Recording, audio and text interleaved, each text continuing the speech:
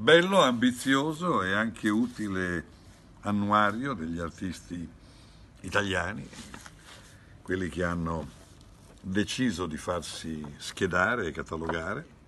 Fra tanti talenti riconosciuti del Novecento vi sono molti giovani pieni di speranza.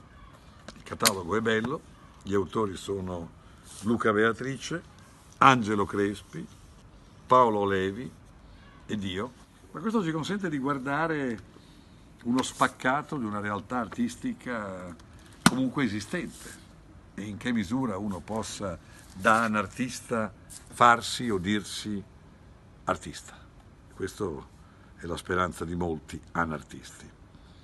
E allora occorrerà ricorrere a Nikita Khrushchev, che i più vecchi ricordano, uno dei grandi statisti dell'Unione Sovietica, un comunista buono, amico di Papa Giovanni, che cerca di portare un vento di democrazia, se era possibile, l'Unione Sovietica, che ha un'intuizione come nessun critico d'arte, nessuno studioso di estetica ha avuto.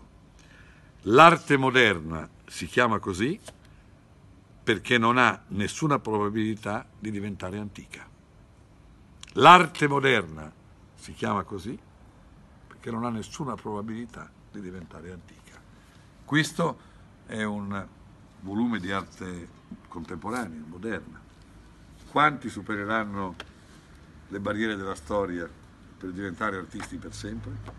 Non lo sappiamo, ma intanto guardiamoli.